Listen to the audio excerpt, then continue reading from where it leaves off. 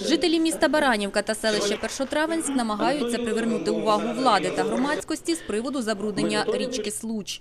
Неочищені стоки Понінківської картонно-паперової фабрики зливають в русло річки Хомора, яка впадає в річку Случ.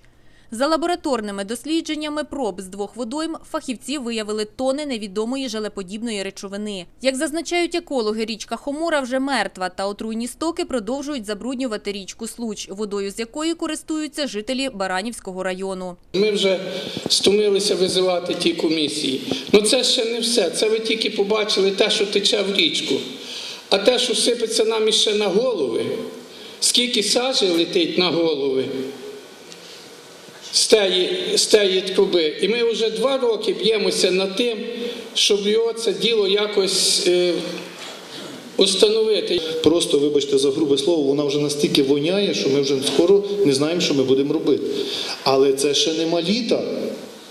Ще немає температурного режиму. Ви представте, що буде робитися літом, коли буде температурний режим. І я вам з всією відповідальністю хочу сказати, що першотравенська громада не збирається мовчати. Ми не збираємося відмовчуватись. Зі скаргами люди неодноразово звертались і до владних структур Хмельницької області, аби ті вплинули на керівництво картонно-паперової фабрики щодо встановлення очисних споруд.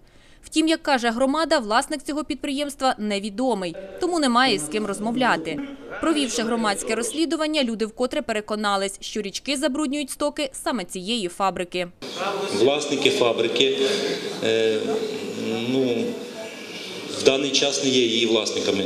Там зараз працюють зовсім, інші люди.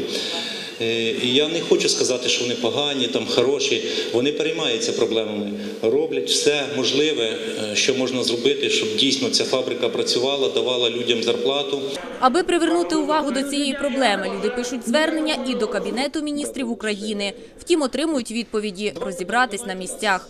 Баранівський міський голова Анатолій Душко бідкається, що вплинути на роботу підприємства іншої області немає повноважень. Натомість наводить приклад, як допрацювались інвестори у місті Баранівка. Дали російським окупантам вирізати вщент, зробити розподіл земельної ділянки на п'ять рівних частин.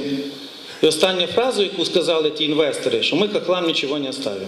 Громада у розпачі через те, що державі байдуже людське життя, допоки що люди вирішили і надалі писати звернення у вищі державні інстанції.